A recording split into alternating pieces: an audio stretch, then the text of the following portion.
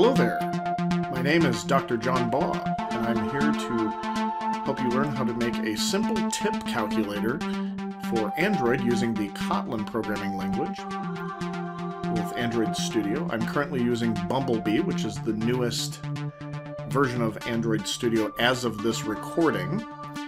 Uh, but this should still be good information for several versions to come, unless they change something completely drastically. So let's start here. I'm going to create this project right here. All right, there we go. Uh, we've loaded over here. We've got, even though this folder says Java, it holds uh, Kotlin files as well, which we have here, our main activity.kotlin. So even if you're using Java, you could still probably follow along uh, with this, and a lot of the code has some similarities and method names are similar. Um, so let's look in here. We've also got resources under layout. You've got activity main right here. And uh, this is our XML file. So we've got these two things. You'll notice that right here, it's just showing the um, display here for our uh, pixel for preview. This little select design surface button up here, uh, sometimes you I think the default is usually design and blueprint like this. But if you want a little bit more space and you don't need one at any particular time, you can change it to just blueprint or just design or even use one of the colorblind uh, modes if you need it to. So I usually just keep it on design. You'll notice when you use design, if I minimize this over here a little bit, that um, we have the attributes over here this attributes panel. And this is our work area, of course. There's by default going to be if you chose an empty uh, project. So if I went to new project, you can see there's empty activity. And then you hit next to make sure it's got a good location uh, to go and make sure you have Kotlin set and an API. I'm using 26 at the time, but you could probably use something earlier if you needed to or later um, if you're watching this at a later time. I'm sure this percentage will go up for, say, API 26. Um, and then give it a good name and then a good package name as well. And also make sure you have a good location also. I'm going to hit cancel since we already have this project uh, created right now. To start off for the, our simple temp calculator, I'm going to delete the text view that was there that said hello world and we're going to drag three new text views onto here so we'll put one, two, and three. What I'm actually going to do is this disable auto connect to parent. Um, this first one right here was automatically connected to the parent. I don't really want that. So I'm going to uncheck that and then delete these constraints. Um, I'm going to manage them manually. Uh, but you can always keep that on if you want it to auto connect. Um, you can clear constraints, you can infer constraints based on the current position, but we're going to do it pretty much manually right now. I'm going to zoom in a little bit so we can see better what we're doing. Um, uh, for this first text view, the ID is the programmatic identifier or name that we refer to it in the code as, and we're going to call that TV base label. Hit refactor, and also change the uh, text on this as well. So I'm going to go down under the all attributes, or you could even search with this little search button here. Um, but we're going to look for uh, the uh, text, which currently says text view. I'm going to change that to say base amount. And I'm also going to make sure that the um, font size is set. So that's going to be called the text size. So actually, we should have probably stayed down here. Uh, we've got the text size right here. It's currently set to 14. I'm going to set it to 20, make it a little bit bigger. And uh, we'll make sure that the layout, width, and height, which are usually near the top, are both set to wrap content. And then for the second one here, what I'm going to do is uh, set the ID of this one to uh, TV tip label TV is for text view, in case that wasn't apparent. TV tip label. And we're going to set the text size down here uh, to 20 again for this one. And kind of the same thing here. Since I'm already in the area, I'll just set the text size to 20 for this third one. And also, I guess I have to edit the content as well for all the other two. Uh, but we'll call this TV total label right there and refactor that. Make sure the one above it has a um, the actual text if we go down to the T's. We're going to set that one to just say tip. And then this one right here, text view, is I'm going to say total. Now my plans here are to have this um, tip view, that tip, tip view, and this tip view all kind of lined up by their right edges. And we're using a constraint layout, but you'll notice that this is giving an error here. It's telling me I'm missing constraints in constraint layout. So really what I want to do is constrain this top one first. That's the one I'm going to constrain first. So to do that, I'm going to use vertical and horizontal constraints, and that's what you have to do in order to have um, a widget or a view, like this text view, be considered constrained. So I'm going to attach it to its parent at the top and the left side. And now right here it's in the upper left corner. We don't really want that. But over here you have this constraint widget um, under the layout here. And it allows us to set margins, which are a type of constraint. We're going to set 32 density independent pixels from the top. And we're going to set um, maybe 8 or 16 is fine. 16 from the left. Now this one's considered constrained. It's going to complain about other stuff about hard-coded text and stuff, but we could set a string resource for the text, but for right now we're just focused on the basic layout and functionality and learning how to use constraint layout and learning how to get this thing to function properly. Now, what I'm going to do next is I'm going to take the uh, tip label and set it its top constraint to the bottom of the base amount, and I'm going to set this margin here to 32.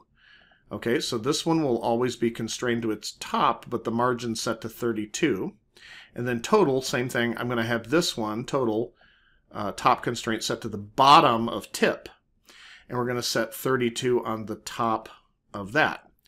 So now it's still complaining because it says we're missing constraints. And the reason is because even though we have vertical constraints here, uh, we need to set horizontal constraints. What I want to do is line up all three of these so that they're always lined up with one another on their right edges. So I'm highlighting all three of them. And I'm going to go up to this little widget up here that says Align. You'll notice it's next to the pack and the guidelines. It's called Align, and I'm going to click it, and it tells me things like left edges, horizontal centers, right edges. I'm going to have it line up their right edges. Okay, so you see now they are lined up. So that's pretty good for what I want that part of the interface to look like. If you go under Code, you'll notice that you can see the top text view with the base information on it is set so that its start, so these may look confusing, but they all start with layout constraint and then they tell you information about what that constraint is. So here you see that it says this particular widget, this particular text view's start is set to the start of its parent. And its top is set to the top of the parent. That's what we did. And also you'll notice in combination with the layout uh, margin start, which is the beginning okay, or the left side, um, is 16. Now it's called start because that leaves it a little more internationalizable. Um, if we were using a different language that wrote right to left, like Hebrew or Arabic, um, then we would, it, the start would be actually at the right. So this is left open for some um, flexibility with the localization and internationalization. But you see the margin start is set to 16 and the layout margin top is set to 32 relative to the parent. The second text view in this code here, this XML, I just went up here to see it. You can go design and code or even split here. But here, this text view, which is the tip label, it has its end set to the end of the base label, the one above it. And the end is its right side since we're using English. And it says the top to the bottom of the base label. And the same thing for the text view below it with the totals. Its end to end is set to uh, horizontally constrained to the tip label, and its top is set to the bottom of the tip label, which vertically uh, is able to constrain it. And of course, with the margins, the margin top here. Awesome. So that's what we've got so far. Um, so we've aligned them, and now we're going to add an, uh, looks like this zoomed out a little bit here. I'm going to zoom back in. So we're going to add a uh, an edit text with the number decimal as the type. So I'm going to go under text, find my uh, thing. It just says number. All of these with this line underscore AB. And if there's a line under it, it means it's an edit text, which means it's basically a uh, text field that you can fill in. The one at the top text view is just like a label. So I'm going to take this number decimal, and that will affect what software keyboard comes up. I'm going to put that there at the top. And this one I'm going to name uh, ET base amount and hit refactor. For this one, I'm going to make sure the height is still set to wrap content, but that the width, um, yeah, I guess for this one, the width will be wrap content too. I'm getting ahead of myself. So the next one, I want to not be an edit text, but I want it to be a seek bar. Okay, so the seek bars, under the widgets, you've got the discrete and the regular. We'll just use the regular. And I'll drag that seek bar kind of over here to line it up with this edit text, but we'll do it more formally in just a minute. So that right there is the seek bar. And for this, I'm going to call it SB tip because it represents the tip. And we're going to make sure that it's, I'm just going to search for it to make it quicker. I'll look for max. I'm going to set the max to 30 because up to a 30% tip seems reasonable on the calculator. We could make it more like 40 or 50 or even up to 100%. That's fine. But we'll leave it at 30. Um, for this one, I'm going to make the layout height wrap content, but the width, it's a little bit short. So I'm going to make the width a specific number, 200 density independent pixels. So you put 200 dp and hit enter, and there you go. And now finally, I'm going to put a, uh, for now, put a text view uh, near the bottom, and this one's going to display the total. We don't need input, so a text view is a good uh, widget to use for this. So I'm going to say TV total and then refactor so it changes all references to it. And we can put um, the text, I'll just search for it instead of going down. Um, if we look at just text, it currently says text view. We could make it totally empty if we want to, but I'm going to set it to zero for right now. Okay. And now what I'm going to do is I'm going to select the corresponding views and align them vertically center. Um, I think we'll set, actually first we're going to set this one um, right here uh, to be, uh, I'm control clicking these so they're both selected. You can even do it over in the constraint layout component tree. If you have uh, ET base amount and TV base label, I'm going to go to align and I'm going to tell it to align their vertical centers. Okay? And then I'm going to make the seek bar and the tip, which I've highlighted both of those. It's a little hard to see on here, so that's why I go over here and make sure that they're both in gray. And I'm going to um, align their vertical centers. Okay, so that puts them right here. And I'm going to make sure that these two, the total and and this one are vertical centers also. Okay. And um, then what I'm going to do is make sure that, so now that they have um, a vertical alignment, I need a horizontal alignment. So I need to, since these are already set, um, I could highlight all three of these on the right and tell them that I want to align their uh, left edges. Okay, so that horizontally aligns them. Okay, so the error we're seeing down here has to do with um, uh, accessibility. It's not to do with the lineup, and I'm not worried about that right now. So I've got base amount. Uh, we've got this uh, text view at the top. Let's make sure all the names are right. So ET base amount, SB tip, and TV total. Okay, so so far so good. Um, I could run this just to make sure that it looks pretty decent for now and it looks a little bit off, so we're going to make sure that the constraints are correct. The base amount, the tip, and the total are in the correct place. So I believe we need to make sure that we're um, uh, spacing, uh, even though these are lined uh, up properly, we need to make sure there's some space uh, between the base amount and the edit text, because the other ones are following suit with the edit text. So that's why we run it even when we don't have any functionality yet. So I'm going to hit um, back on that and we will minimize the emulator and make sure the app is done. And I'm going to make sure that this actually has a constraint to its uh, text view. And uh, here, let's make sure we got this. So I'm starting at the right here and connecting to that. And then I'm going to put a separation of, say, 32. That'll work.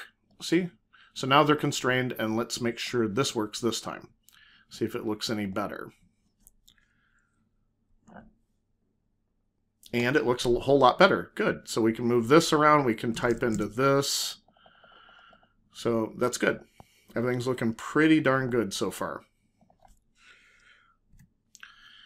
All right, so now, again, we're going to minimize our little emulator here. Everything looks pretty. We're going to place a button. So under buttons or just common, you can find the button.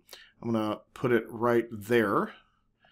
Um, and I'm going to name it BTN get total and refactor that. And then uh, we're going to change the text on it to get total. So text, and then just change that to get total. And then delete our little search there. Um, we're going to set opposing constraints. So we've seen margins as a type of constraint so far, but there's another type of constraint called opposing constraints. If you put a constraint on both sides, it's going to set up a an opposing constraint and it turns into this like kind of springy looking thing where it's like um, uh, you know looks like it's cranked right? So it's like got this um, kind of diamond or um, triangle shaped pattern as it goes through a jigsaw pattern. Now currently the default is 50-50 meaning it's 50 going to be pulled 50% this way and 50% that way.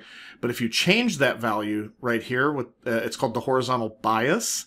If I make it go one way or the other it's no matter the size of the screen, it's going to try to keep it at that particular bias. So if I put it over here to, you know, 18, it's going to be 18% from the left and then 82% uh, from the right. Okay, that's an 18% horizontal bias, but I'm going to keep it on 50. It's very, very sensitive. If you have a problem, you can just go down to the actual horizontal bias. The only thing that um, we're missing, though, is this is horizontally um, uh, has a constraint, but we need to set a vertical constraint. So I'm just going to set it either, you can set it to the um, tip above it or even the tip label. It doesn't really matter, but I'm going to set this to the bottom of this right here. And we're going to set the top margin to, let's say 50. Uh, that should be good. There we go. All right, now uh, we've got the interface set up. And um, I guess, let me think here. One other thing we probably want to do um, if we um, have a tip. Do we want to do that now? Yeah, I think we're going to do that now because as you move the slider, we're not able to tell what the percentage of the tip is. Um, so one thing we could do is put a text view. Uh, I'm going to put it right below the button here, and I'm going to give that um, a uh, horizontal uh, opposing constraints, and then make it relative to its parent, and make that a 32. And I'm going to set the text um, of the text view to just like 0%, but I'm also going to give this a um, particular uh, percentage uh, with the, or a particular identifier uh, so that we can work with it. We'll just call it maybe TV tip echo, I guess, uh, so that it will tell us what percentage we're dealing with. So we'll refactor that. Um, and we're going to change the actual text, which I guess I'll just search for. And uh, let's see here. Uh, text, there we go. Sorry. And we'll put just 0%. And every time we modify this as you move the slider, um, we're going to update this. So there's actually two major things we're going to pay attention to because we're we're focused on event handling right here now is our next step after we got the layout set up. So what we're going to be concerned with now is that there are two events we want to take care of. One of them that the, seems to be the most obvious is if you press this button, I want it to take the data from the base amount and the tip and then uh, place a total value right here. However, there's actually a second um, event that we have occurring, and that's when we move the slider. So while the slider is moving, I want it to update the label. So in that case, the event source is the slider, and the event handler will cause the label to change. So we'll, we'll use the event source, we'll get the data also from the event source, and then set this value down here. When you click the button, that's a different event source. The button is the event source of the click event, and that causes us to grab the value from the base amount, multiply it uh, by the um, a tip, and then add it back to itself, and then that's the total.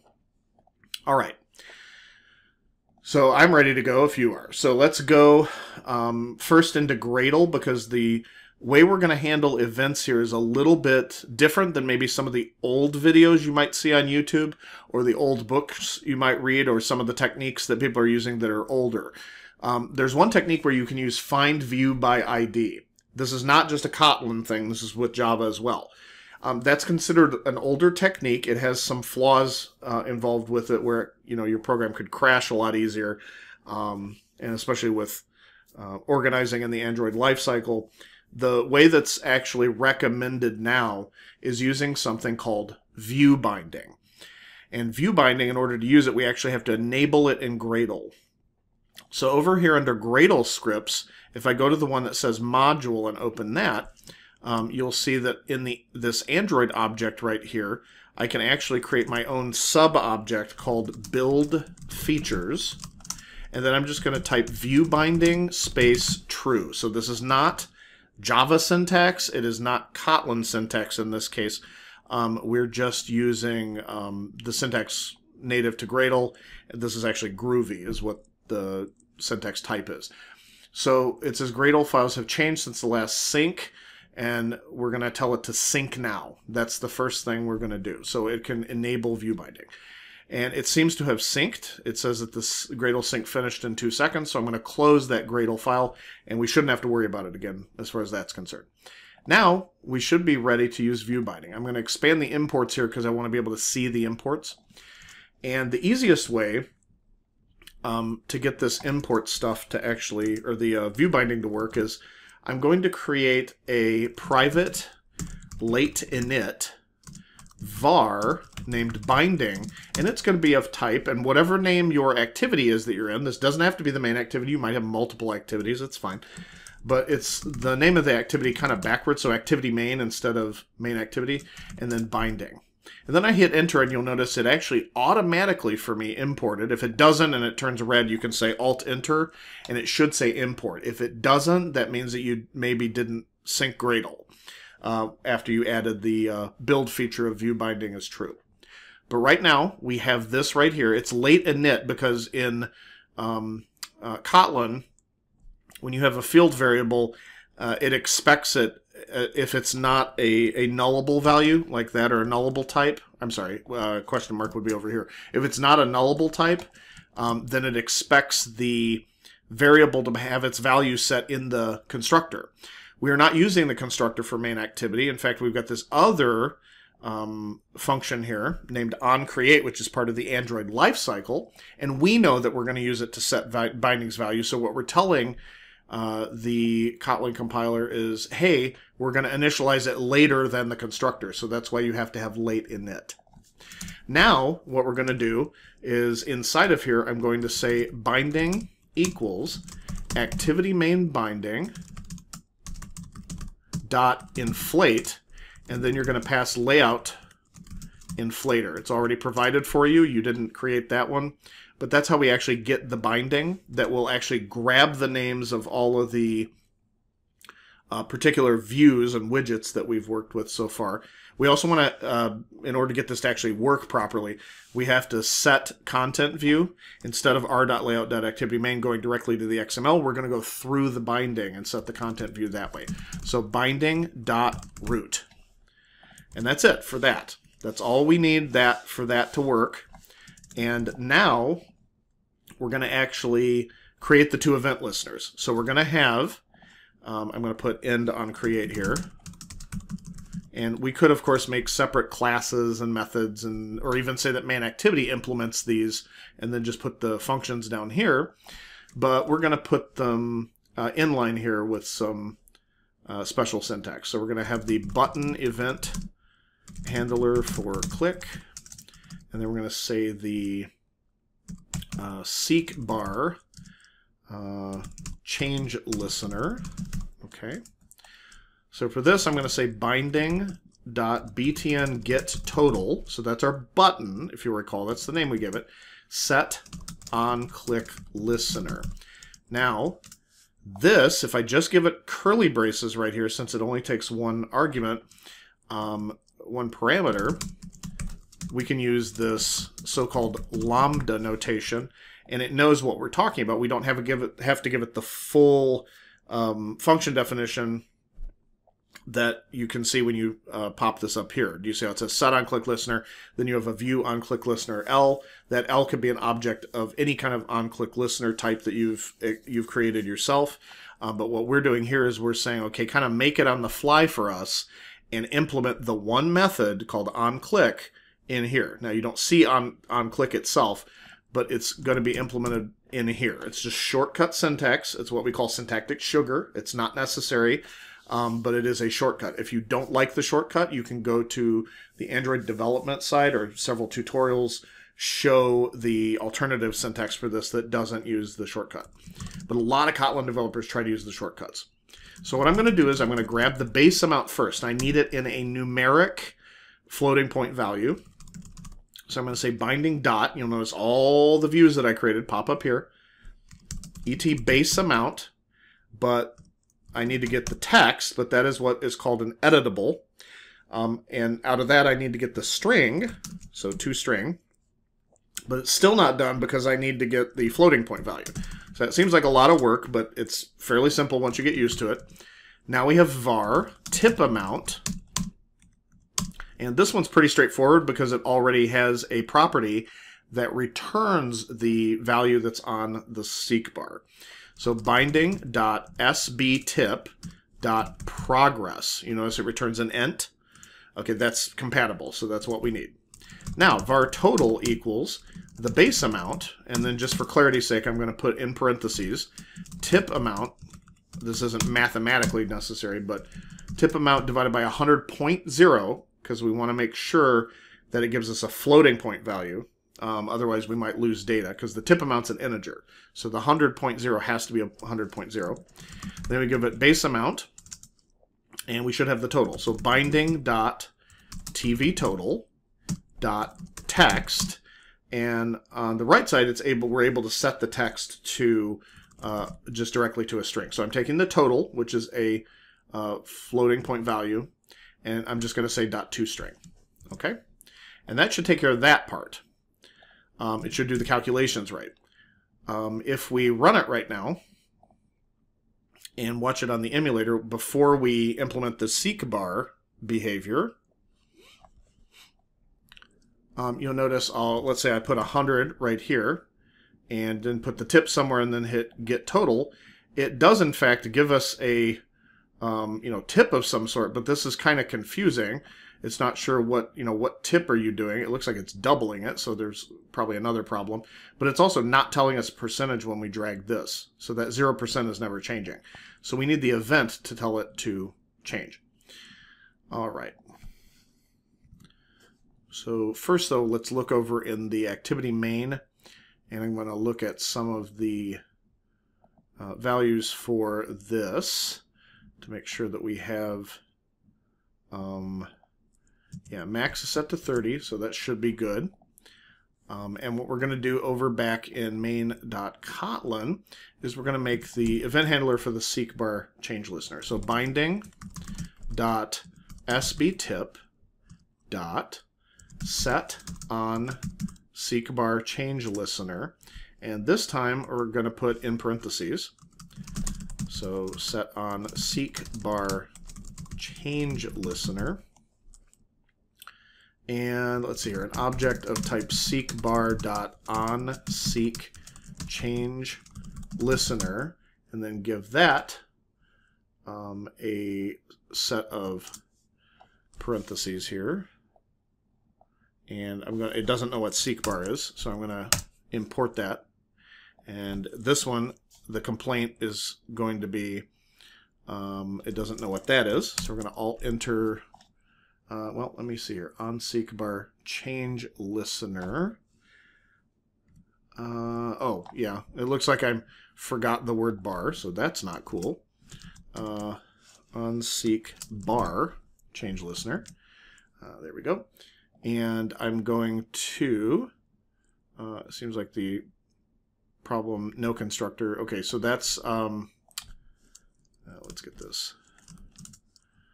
Okay, actually, put that, and I'm going to say, inside the parentheses there, I'm going to say uh, override fun on progress changed. Um, and then, uh, oh, you know what? This actually needs to be a set of curly braces for now. And uh, okay, object is not abstract and does not implement abstract member. So it's got some members that it needs to uh, in uh, implement. So I'm going to say implement members. I'm going to click on that, and I'm going to actually select all three of them. I just shift clicked it here and then hit OK. And there we go. It puts this to do thing in here. You probably want to get rid of those or comment them out, at least for the other two. I don't need on start and on stop tracking. But if you leave those there, it's going to throw an exception uh, automatically. So you don't want that. But as the progress is made, I want to echo using the, so binding dot TV tip echo. I want its text to be set to binding dot SB tip dot progress dot toString. That should be lowercase, toString and then I'm going to concatenate at the end a percent sign because we want to always keep a percent sign there. All right, that looks better. Uh, make sure you've got those commented out, the other two. Um, they have to be, quote, implemented, even if they, the implementations don't do anything. These uh, have to be here because they were declared as abstract. All right, let's uh, run this. So I'm going to run it, go back to our emulator over here, and uh, let's put 100 and as I drag this, it's telling me a particular percentage all the way up to 30. Um, if I put 10% uh, here, um, it's telling me it's 200.1. So I know that the math is off, so I probably got to uh, fix something. Um, we'll figure that out. And, oh, I see what's happening already. So the problem is I did plus base amount right here instead of times base amount. That's supposed to be times base amount. All right, so I'm going to end that, rerun it, and there you go. So the tip is changing in that little um, text view down there, which I could change the size if I wanted to. I'll put it at 10%, which is not a real particularly good tip, but we'll um, just to figure out the numbers here. So I'm going to hit get total, and it's 110, just what we expect. Um, if it's a 30% tip, it's 130. Um, if it's uh, maybe a uh, let's see, a eighty-four dollar bill here, and I say get total, it'll tell us that's 109.20. Awesome. Okay, so there is actually a bug in that if you don't have any content in it, um, it will actually crash if you try if you have nothing in the edit text. Uh, so what I would uh, encourage you to do is try to play with that and fix the bug. It's not really super difficult to fix. There's several ways to do it. You could, by default, if the uh, test, uh, when you click the button, um, if the on, uh, or if the button, when you click it, if the edit text is empty, then you could tell it to use a an empty base uh, amount and not try to grab the base amount. Um, the tip amount is always going to be on a slider and it's always going to have some progress to it, so that, that one's not any danger. But this one right here can cause a problem if it's empty, because as soon as you say to float on an empty string, it doesn't know what to do with that. So you got to do some testing and uh, check that out and see if you can figure that out. So that's all I have for you right now. I hope that was useful, and uh, you know, leave some leave some love in the comments, and of course, smash that like button. Of course. All right, talk to you later. Bye bye.